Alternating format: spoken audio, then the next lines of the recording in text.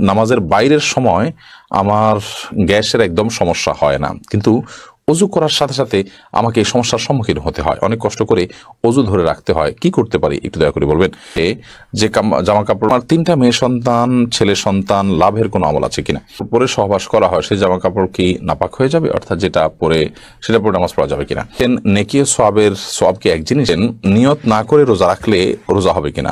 আমি যদি মেয়েদের জিনিস বিক্রি করি যেমন গয়না এবং তারা যদি পর্দাবিহীন তা ব্যবহার করে তাহলে কি আমার গুণা হবে? আমি বাড়ি থেকে অজু করে পায়ে হেঁটে মসজিদে যাই, কিন্তু রাস্তার আশেপাশে অনেক মহিলা থাকে যারা বেপর্দা চলাফেরা করে। আমি সহ অনেকেই নিজের চোখ হেফাজত করার চেষ্টা করি ইস্তিফার পাঠ করি তারপর পরিস্থিতি অনেক সময় চোখে পড়ে যায়, সেক্ষেত্রে কি গুণ হবে? নন মাহরামদের সাথে কি ফোনে বেশি কথা বলা যাবে না? শুক্রবার বিকেলে আশীর্বাদ দূরত পাঠ করলে নাকি আশু বছরের গুণা মাফ হয়। দুনিয়ার প্রতি আমার মোহ চলে এসেছে। এই সম্পর্কে কিছু বলবেন। আমার স্বামী অন্যায়ভাবে তার মায়ের কথায় আমাকে এক তালাক দেয়। এখন সে ভুল বুঝতে পেরে আবার ফিরতে চায়, কিন্তু তার মায়ের অন্যায় জেদ এখনও বিরাজমান। আমায় মানবে না, এখন করণীয় কি? জানাজার নামাজে পাঁচ তাকবীর হলে কি নামাজ নামাজ কি ভুল হবে? তিন তালাক দেওয়ার নিয়ম কি?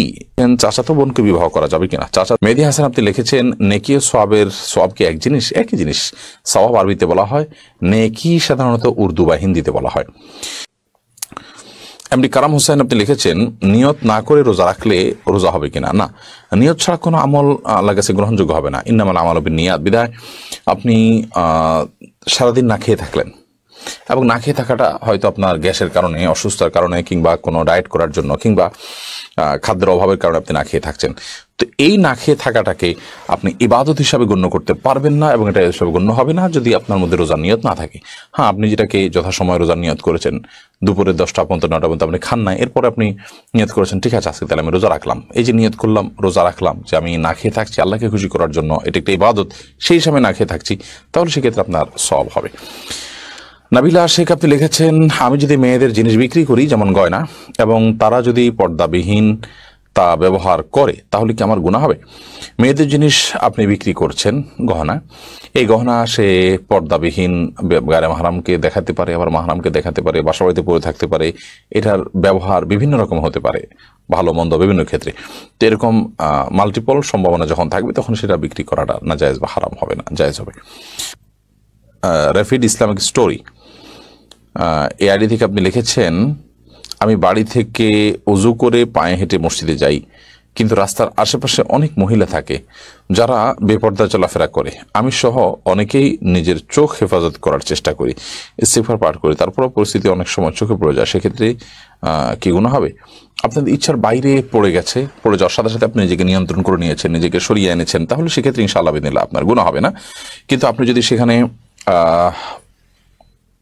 খুব বিশেষ মনোযোগ সহকারে দেখেন এবং গুরুত্ব সহকারে দেখেন এবং একবার নজর পড়ার পর আবারও আপনি সেই নজরটাকে কন্টিনিউ করেন তাহলে সেটা জায়জ হবে না। কারণ নবী করিম সাল্লাহ সাল্লাম হজরত আলী বলেছেন, ইয়া আলী লাতুদ্বিআইন নজরাতান নজরাত ফাইন কাল উলা ওয়ালাই সালাকাল আখেরা। হে আলী তুমি কোনো পর্ণারের দিকে দৃষ্টিপাত হয়ে গেলে একবার দেখার পর দ্বিতীয়বার তুমি দেখতে যাবে না। কারণ তুমি প্রথমবার যেটা ইচ্ছার বাইরে পড়ে গিয়েছিল সেটা তোমার জন্য জায়েজ হবে, হারাম হবে না, কিন্তু পরবর্তীটা হারাম হবে তোমার জন্য। বিধায় আপনি দেখেছেন, দেখার পর ওটা তাকিয়ে থাকলেন তাকিয়ে থাকলেন অপলক্ষে এই যে কন্টিনিউ করেন এটা দ্বিতীয়বার দেখার সমতুল্য হবে। সুমাইয়া সাদ্দাম এআইডি থেকে আপনি লিখেছেন নন মাহরামদের সাথে কি ফোনে বেশি কথা বলা যাবে না? প্রয়োজনীয় কথা আপনি বলতে পারেন। সেক্ষেত্রে আপনি কথার মধ্যে কোমলতা সৃষ্টি করবেন না। কারণ আপনি কণ্ঠের মধ্যে যখন কোমলতা সৃষ্টি করবেন, আপনি যখন নরম সুরে কথা বলবেন, তখন সেক্ষেত্রে আল্লাহ তালা কোরআন কারিমে যেটি বলেছেন যে, ফায়াত মাউল্লাদি ফিকল ভিমরত যাদের অন্তরে রোগ আছে, তারা আপনার এর কারণে তাদের অন্তরের মধ্যে বাজে চিন্তা আসবে এবং লোভ তৈরি হবে গুণা হবে, জল্পনা কল্পনা হবে। সেজন্য আল্লাহ বলেছেন ফাল্লা তাহদ আনাবিল কৌল তোমরা কথা বললে পরপুর পরনারীর সাথে যখন সরি পরপুরুষের সাথে যখন তোমাদের কথা বলতে হবে ফাল্লা তাহদ আনা বিল কৌল তোমরা কথাকে কোমল করবে না।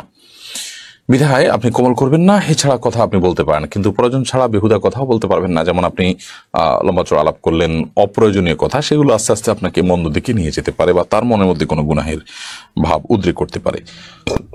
ফাহিম হাসান আপনি লিখেছেন, শুক্রবার বিকেলে আশীর্বাদ দূরত পাঠ করলে নাকি আশু বছরের গুণা মাফ হয়? এই হাদিসটি বিশুদ্ধতার মানদণ্ডে উত্তীর্ণ বরং এটি খুবই দুর্বল পর্যায়ের হাদিস, যার কারণে এ হাদিসকে এইভাবে আপনার বিশুদ্ধ হাদিসের মতো করে মনে করার কোনো কারণ নেই, বরং এটি আমল করার মতো এরকম মানে গ্রহণযোগ্যতার লেভেল পর্যন্ত উঠার মতো হাদিস আসলে এটি নয়।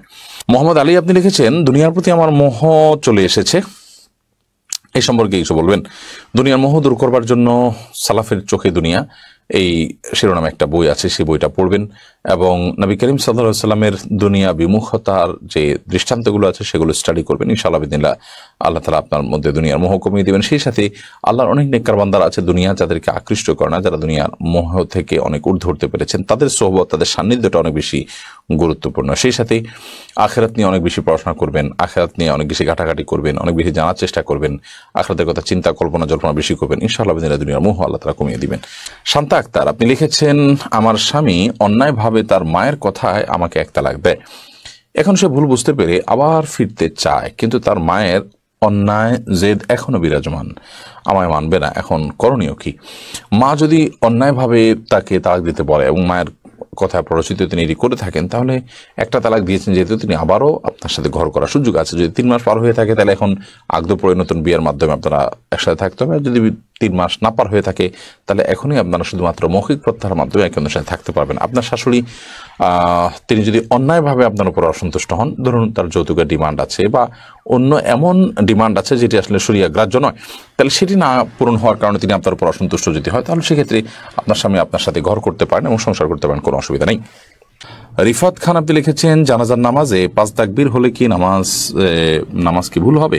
জানাজার নামাজ চার তাকবীরের সাথে পড়বেন পাঁচটা তাকবীর দিলে সেটা ভুল হবে, কিন্তু এখানে যেহেতু জানাজার নামাজ যদি সে দেশেও নাই, অতএব নামাজ হয়ে যাবে। এর কারণে নামাজ হবে না, ব্যাপারটি সেরকম নয়, কিন্তু এটি ভুল। এমনি সেলিম রেজা কাজল আপনি লিখেছেন, যে নাম, যে জামা কাপড়ে পরে, যে জামা কাপড় পরে সহবাস করা হয়, সেই জামা কাপড় কি নাপাক হয়ে যাবে? অর্থাৎ যেটা পরে, সেটা পরে নামাজ পড়া যাবে কিনা? যা কাপড় চোপড় পরে সহবাস করলেই সেটা নাপাক হয়ে যাবে না। যদি সেখানে নাপাক লাগে, তাহলে সেক্ষেত্রে সেটা নাপাক হবে, আর যদি নাপাক না লাগে তাহলে সেটা নাপাক হবে না। অতএব এটি নির্ভর করবে যে নাপাকটা লেগেছে কি লাগেনি তার উপরে। এমনি আমির হোসেন আপনি রেখেছেন, নামাজের বাইরের সময় আমার গ্যাসের একদম সমস্যা হয় না। কিন্তু অজু করার সাথে সাথে আমাকে সমস্যার সম্মুখীন হতে হয়। অনেক কষ্ট করে অজু ধরে রাখতে হয়। কি করতে পারি? একটু দয়া করে বলবেন। নামাজের বাইরের সময় গ্যাসের সমস্যা হয় না, কিন্তু নামাজ দায়ালে শুরু হয়ে যায়। এটা কোনো দুষ্টজনের উপদ্রব কিনা ব্ল্যাক ম্যাজিকের কারণে কিনা, সেটা আপনার দেখা দরকার এবং সেটার জন্য আপনি রাকিদের স্বর্ণপূর্ণ হয়ে ট্রিটমেন্ট করা উচিত। বিশেষ করে কোরআন কারিমের তেলাওয়াত জিকির পরিমাণ বাড়িয়ে দেওয়া উচিত। কিন্তু সালাতের মধ্যে আপনাকে উজু ধরে রাখতেই হবে, কারণ উজু আপনার ছুটে গেলে আবার নতুন করে উজু করে আপনাকে সালাত আদায় করতে হবে। বর্ষামণি আপনি লিখেছেন আমার তিনটা মেয়ে সন্তান ছেলে সন্তান লাভের কোনো আমল আছে কিনা? আপনি রব্বি হাবলি মিনাস সলেহীন এ দোয়া পড়তে পারেন। আহ, রব্বিল আতাজান্নি ফরদা আন্তাখারুল ওয়ারিসিন এ দোয়া পড়তে পারেন। এই সমস্ত দোয়ার মাধ্যমে আল্লাহ তালা আপনাকে নিঃসন্তান দা লাভ করার সুযোগ দিবেন ইনশাআল্লাহ বিদিনিল্লাহ আব্দুর রহিম আপনি লিখেছেন তিন তালাক দেওয়ার নিয়ম কি? আপনি যদি আপনার স্ত্রীকে তিন তালাক দিতে হয় তাহলে যেই পবিত্রতায় অর্থাৎ মাসিক হওয়ার পর যে নতুন পিরিয়ড পবিত্রতার পিরিয়ড শুরু হয়েছে, সে পিরিয়ডে তার সাথে শারীরিক কোনো সম্পর্ক করা ছাড়া আপনি একটা তালাক দিবেন। এরপর একটা মাস চলে যাবে, আপনি আবার তাকে কখনো একটা তালাক দিবেন। এভাবে তিন দফা তিনটা তালাক দিবেন তাকে, অথবা একটা তালাক দিয়ে আপনি ছেড়ে দিবেন এটি সবচেয়ে উত্তম। এবং তিন মাসে অটোমেটিকলি তার সাথে আপনার সময় আপনার নির্দিষ্ট সময় আপনার পার হয়ে যাবে। এরপরে আপনি বিচ্ছেদ হয়ে যাবে। পরবর্তীতে আবার কখনো বিয়ে হলে এরপর যদি আবার তার থেকে তালাক দেওয়ার প্রয়োজন হয়, তখন আপনি তালাক দিলেন। এভাবে তিন তিন ধাপে তিনটা তালাক দিবেন। একসাথে তিনটা তালাক দেওয়া, এটা নাজায়জ এবং গুনাহের কথা। তানবির আহমেদ তাসিন আপনি লিখেছেন, চাচাতো বোনকে বিবাহ করা যাবে কিনা? চাচাতো বোন অবশ্যই আপনি তাকে বিয়ে করতে পারেন যদি আপনার, তার সাথে যদি আপনার দুধ দুধ বোনের কোনো সম্পর্ক না থাকে, অর্থাৎ একই মায়ের যদি পান না করে থাকেন, তাহলে সেক্ষেত্রে চাচাতো বোনকে বিয়ে করা যাবে। কোনো অসুবিধা নেই, কারণ আপনার চাচাতো বোন আপনার মাহারাম, নন নন মাহারাম বিধায় থাকে আপনি বিয়ে করতে পারেন।